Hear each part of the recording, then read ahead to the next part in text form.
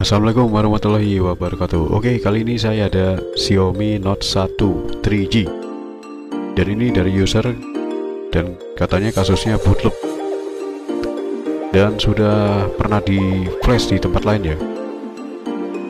Sekarang malah jadi restart logo MI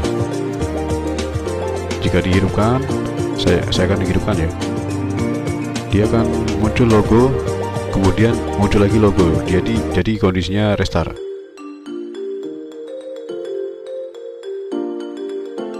Oke saya lanjut ke PC ya.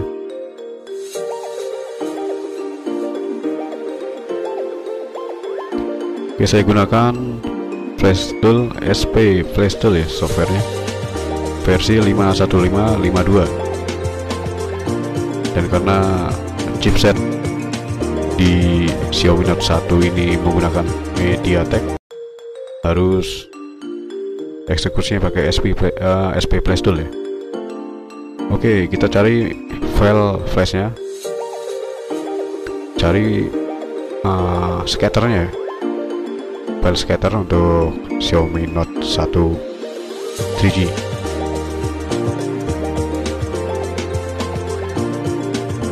Oke, saya sudah tes ya dengan cara download. Ternyata di uh, status download dia tidak bisa jalan software ya, karena pernah gagal flash. Kemudian saya pilih settingan format al dan download. Nah, kemudian saya tes, ternyata dia jalan softwarenya. Ini saya sengaja recording saya tunjukkan supaya ini real ya. Proses flashing. Nah tadi proses flashingnya ini ya. Tekan tombol up ditahan dan masukkan USB oke saya lanjut. Pasang baterai dan cas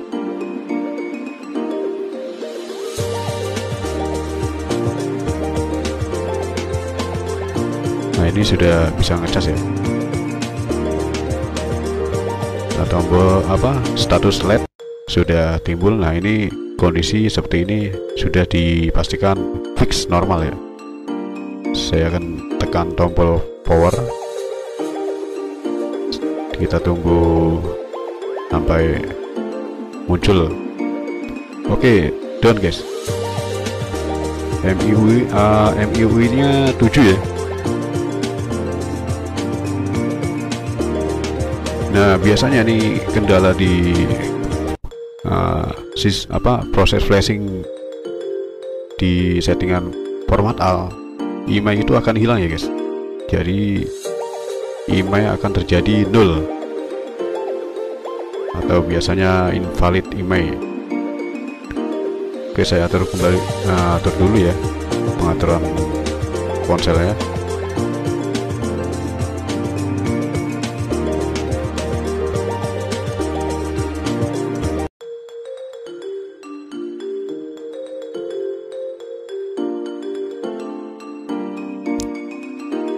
Oke, sebenarnya solusi flash uh, di MediaTek seharusnya uh, checklist di download saja ya.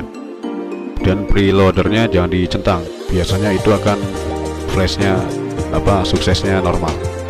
Email tidak tidak nyangkut ya. ya karena karena ini gagal flash jadinya susah di software.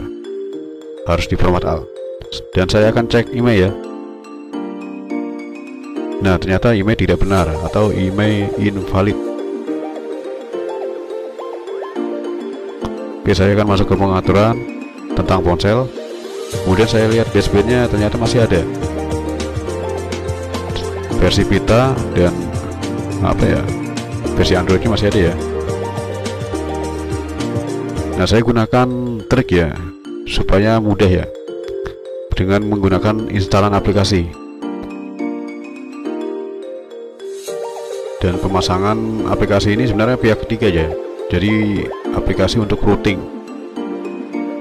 Oke saya gunakan King Root untuk root routingnya. Kemudian klik root.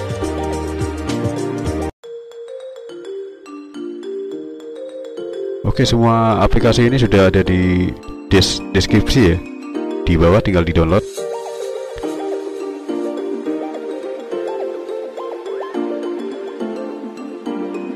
Oke root sukses. Dan kita lanjut ke ini ya. Aplikasi selanjutnya adalah Camel Chameleon Cameleon nah ini aplikasi untuk memunculkan email yang nyangkut ya. Sebenarnya BSP nya masih ada cuma emailnya invalid. Tidak muncul. Dengan aplikasi ini jadi dia berfungsi untuk menimbulkan email yang mendem, mendem lah istilahnya ya.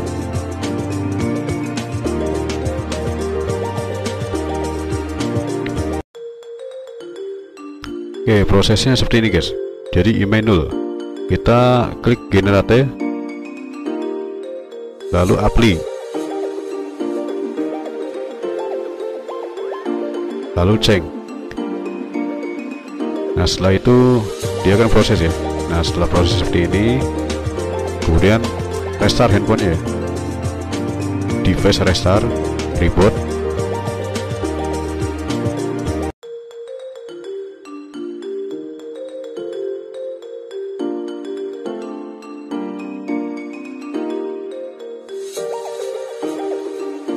Oke saya reboot. Kita tunggu proses rebootnya ya